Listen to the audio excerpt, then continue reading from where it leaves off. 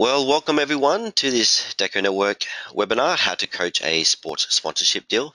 My name is Brenden Prazner, Product Marketing Manager and Evangelist here at Deco Network, and I'm joined by Mr. Embroidery himself, Erich Campbell. G'day, Erich. How are you doing?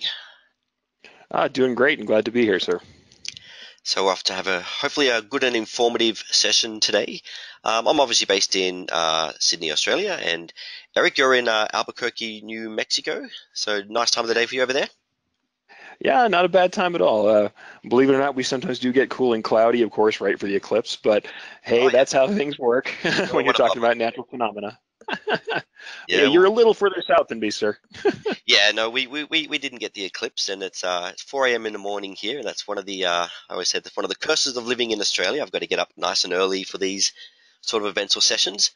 Although one of the positives is it is 4 a.m. in the morning, it is winter, and it's only 60 degrees, so you can't complain about that. So that's a one of the benefits. Not too bad in Sydney. Yep. All right. Well, thank you everyone for attending. Uh, we'll get started. Um, we'll have a few people come in as we go along through the session, and I'll catch up as we get started. And today we are here to talk about uh, sports sponsorship and really how you can take advantage of that for your business. And we'll be sharing a couple of practical examples that we've learned from our own experience or from clients that we have running on on Deco Network and their experiences that they've shared with with us. And on today, we're going to talk about a couple of topics. First of all, we're going to explore what is the opportunity of the sports market for us decorators. Then we're going to take you through those first steps on how you can get involved in taking advantage of that opportunity, and then look at the actual opportunities themselves for sports related products in our industry. Then we're going to give a bit of a, uh, a story about how to work your way to the top, a path to the top with sports sponsorship, and then Erich's going to take us home with some tips on e-commerce. So if you're ready, Erich, we'll jump into it. Absolutely. All right. So what is the opportunity of sports for us decorators? Well, it's a massive market, and the world of sports apparel market is estimated by the year 2020 to be worth 184.6 billion dollars. That's US dollars, real dollars, in terms of the market opportunity out there. And that can seem like a huge number. And you're thinking, well, look, I'm just a, a local decorator. That's really you know, I'm not going to be a billion dollar business anytime soon. What is it involved for me?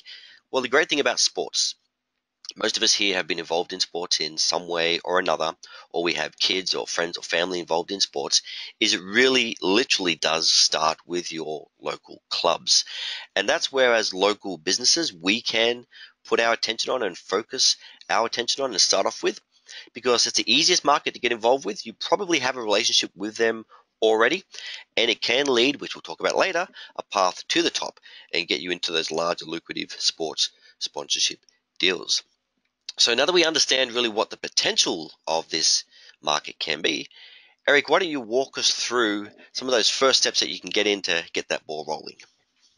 Absolutely. As you said, it does all start locally. And, you know, we're going to talk a little bit about what your everyday customer might be who looks like they're coming in for that first small order. You know, people get worried about the larger national companies who are coming over to take promotional products and printing, but really, this is the bread and butter of how these things start. So let's get the ball rolling, uh, like your pun there, Brenden. let's meet Jack, your everyday sports playing customer. Now, Jack plays football on the weekend or soccer, depending on where you're located. Uh, maybe he's an accountant for his day job. Uh, you know, he's got something he's doing in the day, like most of us do. So he's doing club sports. Uh, he gets tasked with finding the team's new jerseys. He's got to get the kit for the new team. So, you know, he's got to go out there and look for himself. What does he do? He starts out by doing some searches online. And luckily, the way Google works, you get those top links from your local sources right under the ads. And so he's going to find a local printer. You know, Jack wants to go in and touch it, touch and feel the, the uh, quality of the garments. He wants to see what he's working with, and he definitely doesn't want problems. So he's going to go local. He's got 15 jerseys. So that's all he's really looking for is to get his team kitted out.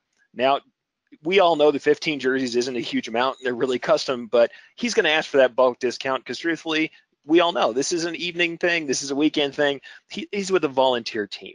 So he's going to want a discount for those jerseys. And, you know, that might be hard for us. We don't always like to give that discount, especially 15 pieces. That's mostly just above some people's minimums, let alone in bulk. Mm. But hey, you know, the jerseys look great. He likes them. He gets the order put through. Maybe you give him the discount and that's all you do. Eh, you don't love that, but hey, you give him the discount. He buys the jerseys, but the team doesn't make the finals, and that's where the order ends. In a typical order, this typical engagement with a printer that doesn't have a whole lot of vision, that's where it ends. Yeah. One order, 15 jerseys, probably discounted, and that's it. You know, maybe you got some good pub out of the guy because he does like what you've done, but that's the end. But it doesn't have to be the end. So let's say you have a, pr a printer who's uh, not so normal, has a little bit of vision. This printer sees an opportunity. This decorator says, okay, yeah, there, maybe there's a discount, but that doesn't have to be about being less revenue for me. I mean, sure, we're going to give a discount, but this discount could be a promotional opportunity. Yeah, absolutely. Yeah. So we all know what this is. When you do sponsorship, you get to put your logo on the garment, and at least that's something you can do. You should advance this. Um, not everybody thinks about it. Usually, you give them a discount, and, or you say you're a sponsor, and maybe they want to put you in an advertisement somewhere. Maybe they put you on a printed calendar or some sort of contact sheet or a program. But really, give a decent discount, and you can put your logo prominently on the garment itself, and that's really a value. Uh, you want to exchange that discount for real value for your business. And honestly, having that logo there is real value. Certainly, we're going to talk about it with events. When they're at these events, the logo's there, it's prominent, everybody who's there sees it, and that's the conventional kind of way you're going to get branding to be value for the business. Yeah, absolutely. When I uh, started off in the industry, Erich, back in uh, the 1990s, uh, the company I worked for focused primarily on sports, sports apparel, um, because they were huge sports fans themselves. They played in local football teams, soccer teams, swim teams, um, local surf clubs. And it got to the point, and maybe I was just a little bit more conscious of that because I lived in the town, that when I was walking around, I just saw our company logo everywhere on the back of people's shoulders because we made a an effort of actually co-branding our products with our logo through sports sponsorship. And it became a value add not only to us, but people looked for those advanced design apparel because it said quality printing. Oh, absolutely. And that's where you get that real top of mind awareness. If you just have your name out there, that's the first thing you get from this value top of mind awareness. People know that you're a printer, plus they associate you with that sports apparel. Yeah. But that's not all you can do with this. So let's say Jack's Printer has more vision than just that, more than just that sponsorship, and sees another opportunity. Well, there's 15 more people on that team, that not just Jack. So we have to imagine every single one of them is going to receive a packaged garment that you've printed that has your logo on it. And that means each one of them, with all of their other constellations of things they do, might be another customer for you. So maybe you have a teacher, maybe you have a clerk at an office at uh, some big utility. Uh, maybe there's a waiter, a cleaner. So there's a restaurant, there's a cleaning service, there's a plumber, plumbing service, truck driver, there's someone who delivers packages, cashiers, retail stores, security guard, landscapers. Maybe they're members of another team in another season. So now you've got another team just directly in sports. These are all the people you might influence with what you do with the branding on those products. And honestly, in the shop that I used to work in, that's something we specifically did. So let's say, okay, see, we have the jerseys here, names on them. That's great. That's one good thing. But that's not all you can do. So in this case, we're actually going to talk about an instance from one of our licensees of Deco Network. They decided to put a care card with instructions to avoid damage to the print in the garment in each packaged piece. What does that mean? Each one of these 15 people on that team now has this card in their hand. Number one, they know you care about your garment, they know you care about the print, and that you're professional, you know what you're doing because it gives the instructions on how to take care of it. But number two, you now have one more chance to market to these people. Here's the care instructions on the front. It tells them just how to take care of it. There's your logo, there's the care instructions, but flip it over, and each one of these people now has a call to action. Do you need some printed products for your own business? And here's a discount there's a discount coupon code you can use right in your e-commerce store. And once again, there's your logo. So each one of these people has an incentive to come back and become your customer for an unrelated reason. So here's this incentive for other team members to use their printing service. And honestly, I'm going to go ahead and share one from when I was a decorator. We had a very small order, a very small uniform order, very much like the one we're describing in this use case, and it was for a water polo team. And now you can imagine in uh, Albuquerque, New Mexico, you might think water polo doesn't sound like something we do, but yeah. there was. So here's this oddball order, right? 12 pieces for a water polo team. Um, nobody else would take it, couldn't get it done. We decided to take this smaller order, and we did just this. We logoed the order, we gave them care instructions, we helped them out, we actually helped them with the design work, so that was another value add we provided. And in the end, it turns out the person who's purchasing for this order works for the only uh, power utility in the state. And we end up getting a larger part of the market value from that power utility. We were doing some of their stuff, but we were entered into new divisions we wouldn't have been otherwise. Yeah, So- that's awesome. You never know. You never know who's behind these small orders or who's behind these team orders. Someone on a water polo team might be an important administrator at a larger company.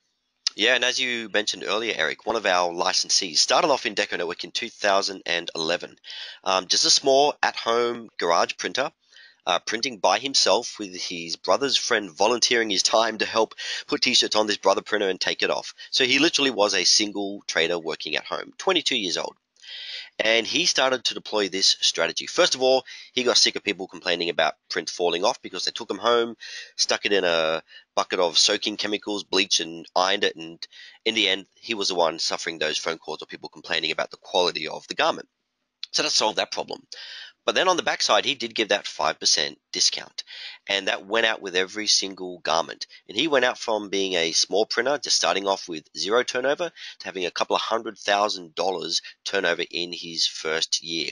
And he attributed this to his initial success because it got value out to his clients um, as he realized he's dealing with people that are volunteering and doing other work in other organizations. And typically, if you're volunteering in one sports group, they're probably a volunteer type person. So maybe they're volunteering for the local fire or the local um, canteens or the schools. So they've got that extra traction into other markets. But he gave value for them to come back with that small discount. And for him, it was only 5% as well. Um, but another important point to add as well is he didn't undervalue his products. He didn't sell a $5 C.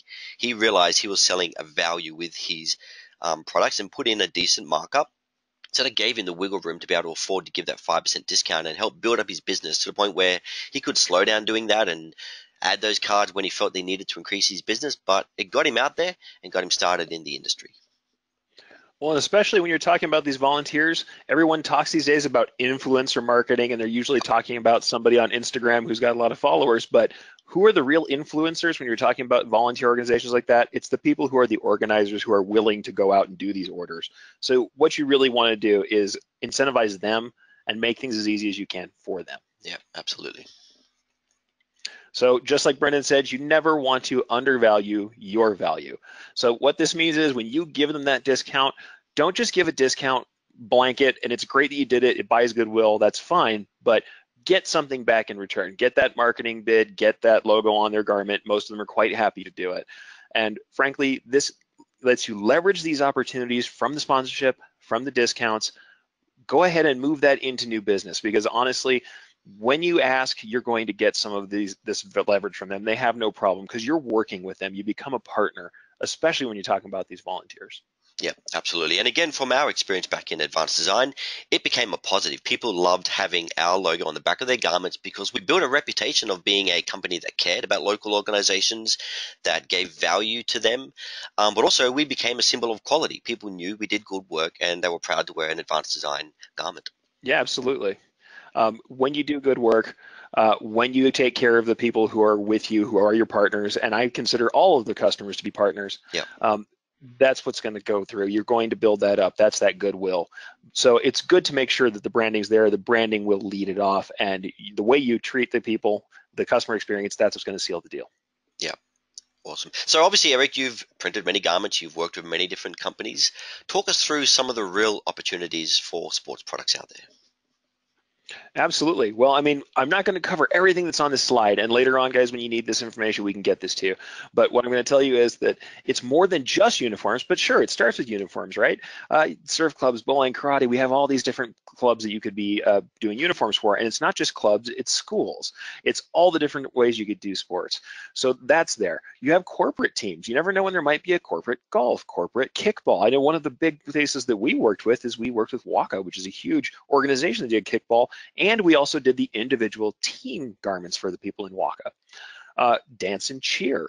So you might not think of that necessarily. You're thinking about doing uniforms, but dance and cheer, there's tons of stuff that's in dance and cheer, especially when you go beyond just the uniforming and you get onto uh, booster and spirit wear. Um, extreme sports, why not? Uh, Uh, you know, motocross, stuff like that. They're, these people all have printed garments. It may be that they're different kinds of printed garments, but it's all stuff that you can source even if you don't do the work yourself. So fitness clubs, I know the little local gym I go to has a, a right in the front door has a little round rack with garments on it. It's not a lot, but you can imagine it they change out those garments frequently. That's something that has a constant turnover at retail prices so they're looking for someone to, to provide those garments. Marathons and fun runs event-based stuff is great because usually what you get is a lot of real simple prints uh, larger numbers certainly per order and you can do these big marathons these fun runs these events and it ends up being a great driver especially when you do that sports sponsorship because people are watching that event and that event is going to have a lot of uh, spectate, uh, spectator action as well as the people who are wearing stuff um, high profile athletes. If you can get something interesting, a cool decoration, you get it onto the back of someone who's uh, in a high profile uh, state, or say like you have a local Olympian or someone who's trying out, they end up in news stories, they're wearing your stuff. That's another great bit of exposure. Plus, it helps with buy-in because that's social proof saying these elite athletes like your product. And of course, it all starts with local teams. So no matter what your local team is, no matter what they're doing, if it's, you know, from football and soccer to curling, get on in there, talk to the people in the local teams. And especially if you do have, like Brenden said, you very likely have these personal relationships. That's the best kind of niche marketing. If you understand a sport and you're connected to the sport, that's the first place you should start because you'll be comfortable talking to them about it and you know what they need. Yep, absolutely. And that's actually a really good segue into the next part, which is a path to the top.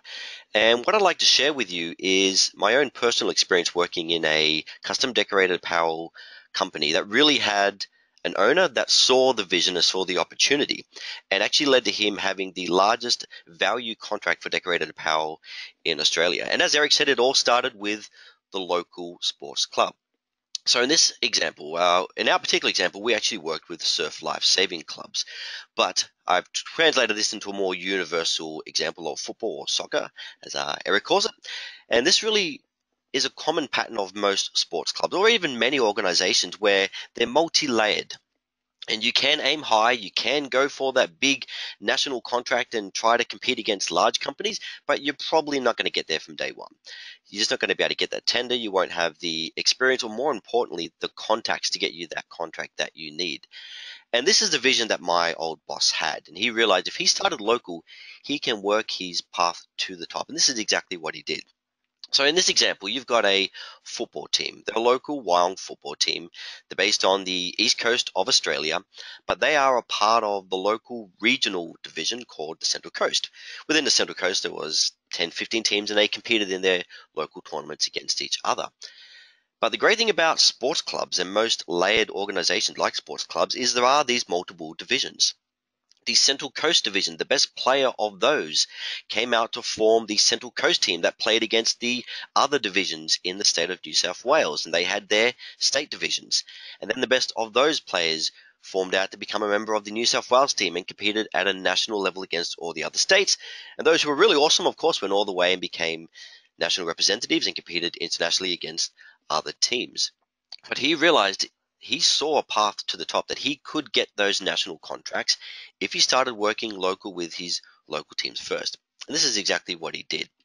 So obviously, big sports family. They were involved in local football clubs, surf life saving clubs, um, soccer clubs, and that's really what got them involved in the decorated apparel industry. And I still hear that constantly today when I speak to new signups in Deco Network. Typically, they were a customer that were buying garments for their local club or for their local business and realized, you know what? that was actually a lot of fun and I was pretty good at that and I could probably do this as a business myself. So it's a common pattern and maybe that's how you got involved into decorating yourself. They were members of local sports clubs.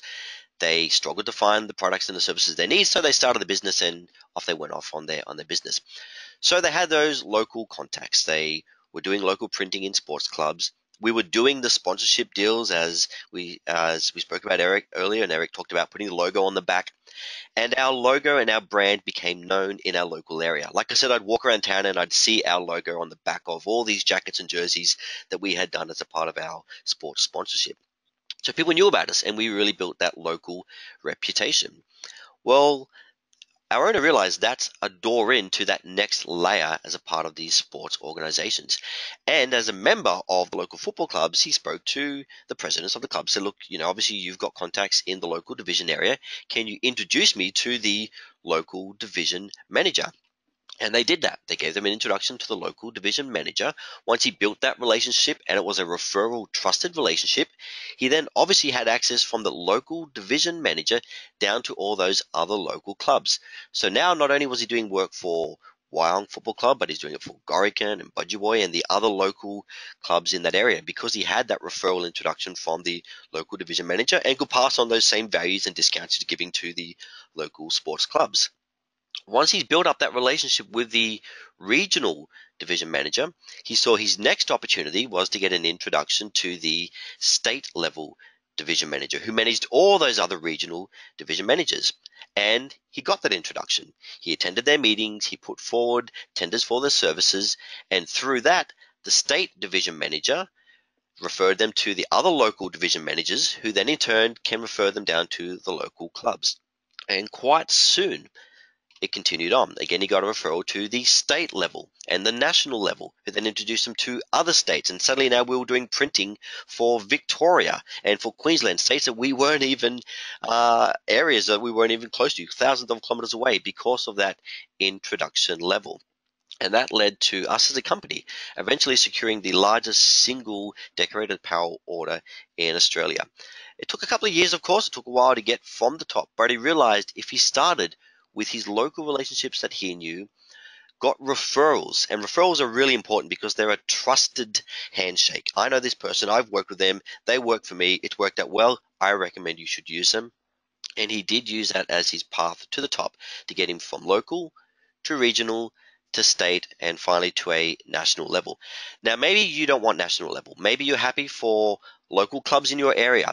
Still using this same model, you can get that introduction to that next level regional division manager who can introduce you to the 15, 20 clubs in your area, and maybe that's perfectly fine for your business. Or maybe, like my boss, you had aspirations to go all the way to the top and go to the next level and move on from regional, state to national. Now, obviously, through that, um, we had other introductions to other sports areas because through the tags and the coupon codes, you get introductions to people who might also do soccer, but then also do local darts clubs or local bowling clubs or fire or other organizations.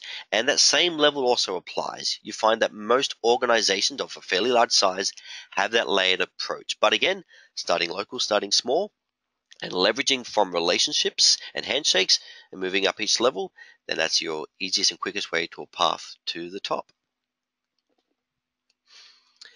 So Erich, I, I, can't agree more with that. I mean, honestly, that pathway it works not only in sports, it works in all sorts of multi-level organizations. I know that we've done very much the same uh, in our shop, working with uh, real estate. Actually, I know we're talking about sports sponsorship here, but I want you guys to know that if you're doing multiple different kinds of things, if you're not just a sporting company, the same thing works. We will start with a local real estate office and went up to the national level doing the very same thing. Mm.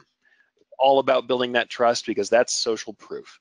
So really listen to this model, folks. If you put in the time, and that's the thing, it's it's hard. No no lie. There's going to be some time in between. You have to keep showing up. You have to be involved. But if you're willing to be involved, if you're willing to build that goodwill, you will move up if you try. Yeah, and certainly from what uh, my boss uh, attribute or my ex-boss attributes attributes to, and he actually did claim this to be his reason for his success. That this model was what led him to the top, and eventually sell his business off and retire happily. Um, but what he really bashed home to me was it was all about relationships. That no one knows him on a state level, and if he walked into a state level meeting and through his services around and his name around, no one knew him. That he did leverage that relationship and made sure he got that literal handshake introduction from one level to another and build that level of trust. Absolutely. And you might wonder as we go on here, you're like, how does e-commerce fit into this, right? Because we're going to move into this, hitting a home run with e-commerce. And I'm going to say, you know, e-commerce is a natural fit. And you're thinking, e-commerce, well, isn't that less personal? Hmm. I'm going to tell you, no, it's not, because it's a tool there are multiple ways to use e-commerce. The traditional way that people think about is I set up a website, I leave it there, and it's the what they always say is the 24-hour salesman, which I think is a really poor way to think of your website. Your website is a tool, like a catalog, like any other tool you use. It's not everything that you need, and you still have to have personal relationships. But however, e-commerce is a natural fit for working with uh, with working with sports because you're going to be a partner as a sponsor. You're going to be a partner with your with your people that you're working with. Now, the first thing is we're going to provide these tools that make everything easier. The first thing, online ordering is easy. It's going to save your buyer, that volunteer we talked about, it's going to save them time and trouble. No more chasing people or organizing their order forms. No more collating the orders, getting all the sizes and stuff put together. Uh, no more personal risk. They don't have to pay for things themselves. They don't have to be the one who might have lost a form because the online ordering will allow you to have individual ordering that's easy for people to do collates itself. So all of this automation is going to take responsibility off the back of that volunteer, that person who's actually coming to your company and making their life easier. Yeah, and I think your your point of um, online ordering or e-commerce not just being about impersonal is an old-fashioned way of looking at it. Um, and it's probably the industry's fault. We haven't thought of a better term for it. We still associate with e-commerce and online meaning go away, go to my website, I don't want to speak to you. Um, and you're going to fail. If that's your, your business model, you're not going to be that personal relationship totally. business. But you know what we see the success of e-commerce being and online being is as you've just said it's that extra level of protection to a personal relationship you still have that meeting you still have that handshake but you're verifying everything electronically online is the colors correct is the order correct is everything all correct and that's really the power of e-commerce and online well, and you're also making it easy for their end users. If you want to think about it, their customer, these these volunteers, these people who buy generally, that these people have a customer in the individual team members, and now those team members can do their ordering whenever they want to, however they want to, and they don't really have to even go through uh, this buyer, this person who's in the middle. So you get it's like all of the relationship with none of the risk and pain. Absolutely. Yeah. And it turns the buyer into a promoter. And that's the best part of this. The person who's usually tasked with being a buyer, being a shopper, now all they have to do is take a, the link that you give them, take the information you give them, and promote it to the team. Maybe they have to give them a little bit more information, but that's it. They give them a, a close date for when you're done with your ordering, especially when we're talking about uniform orders. And they promote the link, they send it out to all their people, and they're done. That's all they have to do is maybe maybe a couple of reminders. That's it. But it's not the same as when you used to have a buyer who's running around, like I said, doing paper order forms, sticky notes, taking calls, putting it all together, collating one order, hopefully getting all the names put together, and having to deliver that and write a check either out of their club funds or their personal funds. Yeah, while putting the kids through school, picking them up from sports events, yeah. shopping, and feeding the dog, right? so. Uh, absolutely. It's easy for things to get lost, and this way you just don't have that problem, and you make their lives so much easier. Also, it eliminates so many errors, and this is great for them, but it's best for us as decorators. I cannot tell you how many times because there's even errors sometimes when people do the list. The thing is, you take those errors, even though when there are errors, off of the shoulders of that buyer. Once again, they don't have to be the person in charge of these errors, in charge of verification, because everything is verified by the individual buyer, the team members themselves. The spelling of any names or personalization, the size selection. And the other thing that can happen too is sometimes people buy in kits, but you'll find, uh, hey, the human body, and I know my body's not very normal, I'm a big guy. Sometimes people have different sizes for, say, tops and bottoms. Maybe they have a different desire for their t-shirt size versus their jersey size.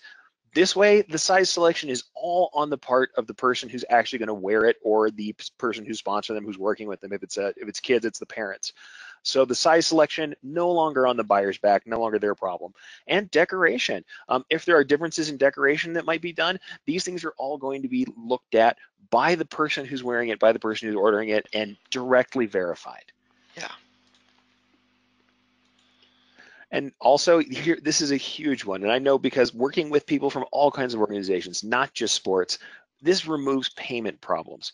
Because an e-commerce solution is going to allow you to arrange payment individually, as you see, members pay individually. It means that the buyer doesn't have to take it all together, doesn't have to collect money, doesn't have to hound the five or six people out of the 30 who haven't gotten their money in on time, or like I said, take on that risk themselves. Say they've only got two people who haven't paid and they decided to pay out of pocket. I, I remember in the bad old days of working on all paper how that was, where someone would come in and just kind of grit their teeth and pay out of their own pocket to get the, the order underway. And for us, it means that without fail, we're going to be paid for production. Um, this allows us, because we're using this transactional model that is very much what a customer would be used to from a website, from other e-commerce sources, it's more likely for them to go ahead and pay ahead rather than want to do any sort of, you know, distribution afterwards or to do some sort of like uh, securing it with a small uh, amount up front first. This way, each member pays us, we are paid, we know that we're getting the money that we need uh, to do the production ahead of time. Yeah. And also, it allows us to set very clear expectations. When you have this one buffer of the uh, e-commerce site, you get one more chance to say things to that end customer before they order. So you get graphical previews first. What does this mean? They're going to see all the decoration and the personalization live. If you have a tool like Deco Network that allows for those live personalizations, they can look and see exactly how things are going to look, where they're going to be placed on the garment, and there's no question about what they're going to get. Same thing with store policies. You get to put store policies right up front. If they're worried about um, you know, charges, returns, anything else is going to be built into your e-commerce store, they can look that up and they can understand ahead of time on their own. It doesn't become the buyer's uh, deal to have to explain everything to them. And then delivery dates. It gives you a chance one more time to tell them how long things take to be uh, printed and put together. And if you've organized a delivery date, you can even have another chance to uh, send them a message individually to return to them and say, hey, your dates are going to be this after we do the production, especially when you're doing batch ordering. So individual orders, also the best thing equals easy distribution. Because the orders are coming into an e-commerce system individually, they're already separated.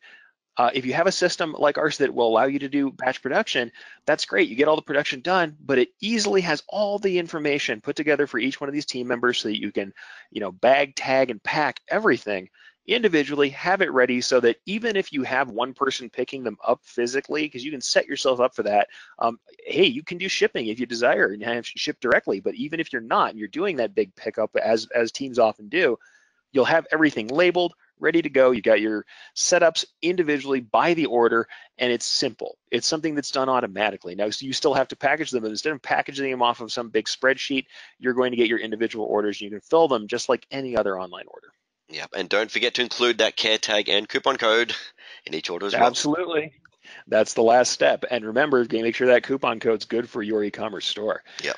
So the other thing, for digital decorators especially, this is where I talk about the, the best part of having, say, an online designer as we have, uh, is you can service the stragglers. There's always a couple people who don't have their stuff together, who don't order on time.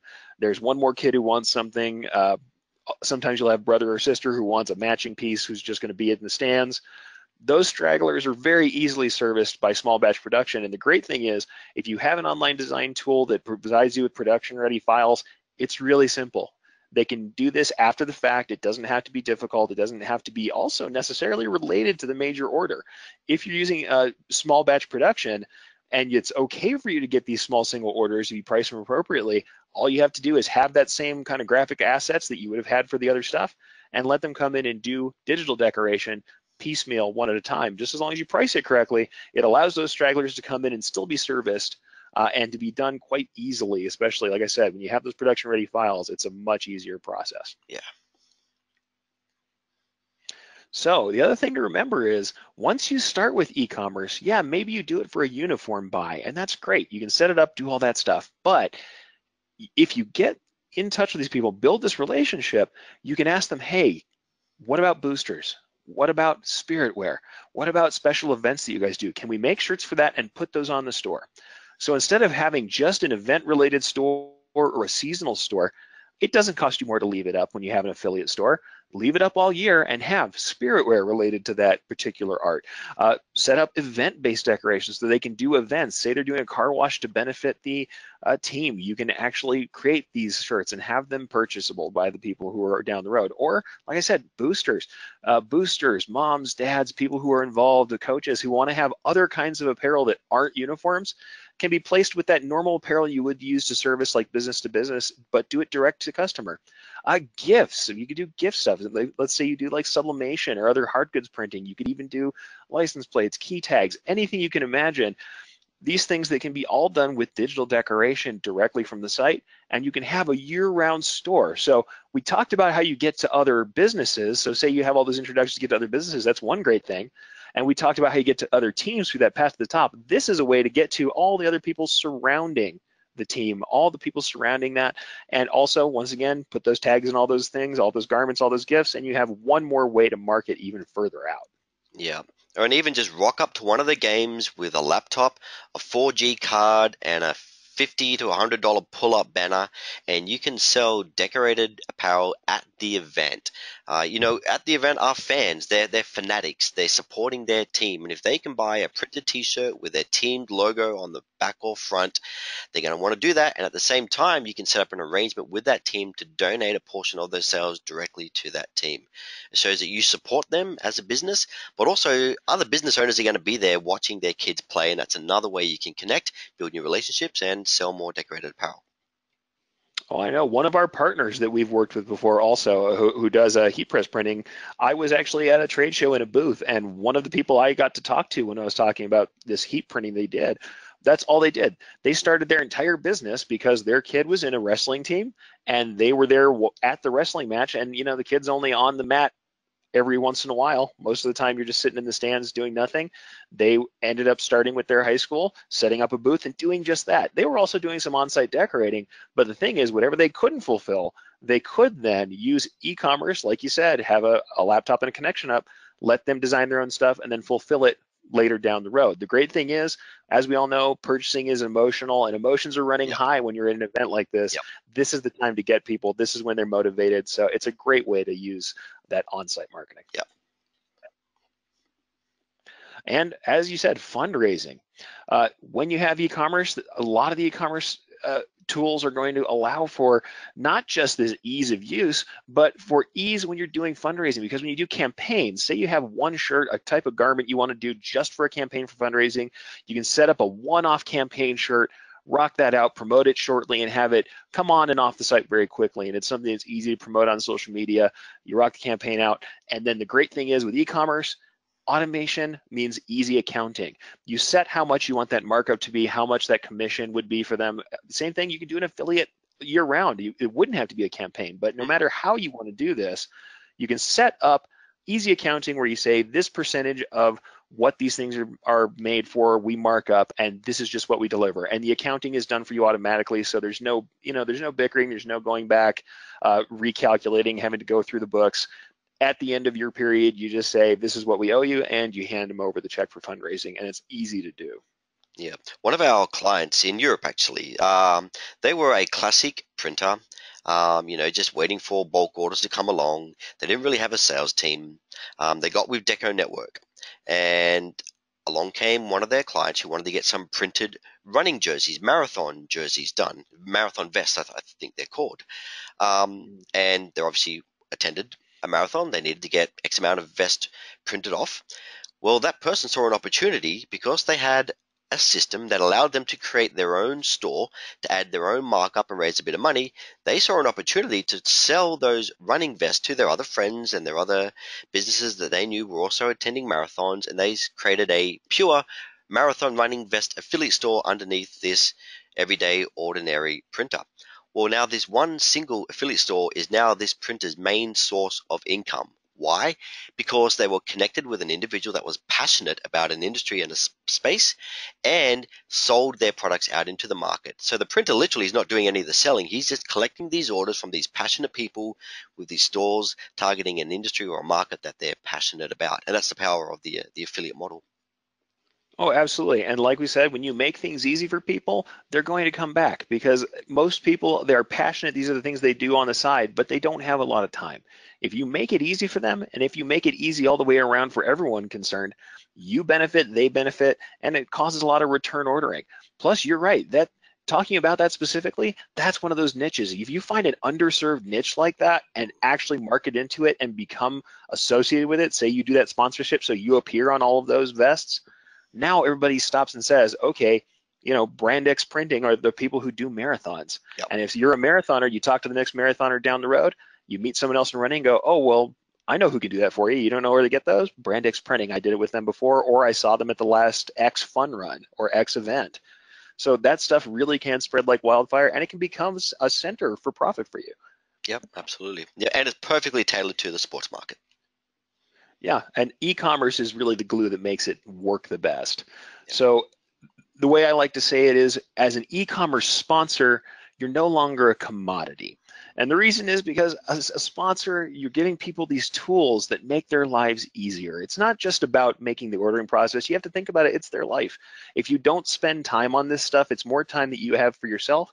It's more time for your passion. And I know certainly having done some uh, volunteer work for things I was passionate about before, sometimes that grunt, grinding through paperwork becomes something that kind of sours that passion project of yours because you end up doing more of that than the thing you love to do. So making it easy for them is absolutely paramount to making them happy and making their lives better. So what I like to say, printed shirts are everywhere, but great customer experiences aren't. Mm. Make it easy. And that's not just in the e-commerce, but the e-commerce is a big part of what can do it for you automatically. It's in everything you do. Make it easy for folks. And I think even when we're talking about the uh, including the washing instructions, that's another way to make it easy. Remove questions. No one likes to have these untied up loops laying around. They don't want these ends clean them up for people. Let people understand how to take care of the garments. Let people understand exactly when their uh, shirts are going to get done or exactly when their garments will be done. Let them know exactly how the printing is going to look through the uh, online designer. And these things make things easy, gives them confidence, and that kind of confidence is what you're going to get in return orders. Yep, and I think you touched on it earlier. You know, we're dealing with people involved, particularly in the sports area, primarily volunteers.